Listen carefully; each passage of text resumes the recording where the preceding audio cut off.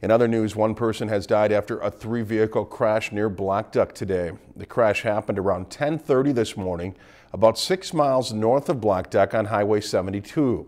Authorities are not releasing the victims' names at this point, but they say one person died and another person was injured. If you've enjoyed this segment of Lakeland News, please consider making a tax-deductible contribution to Lakeland Public Television.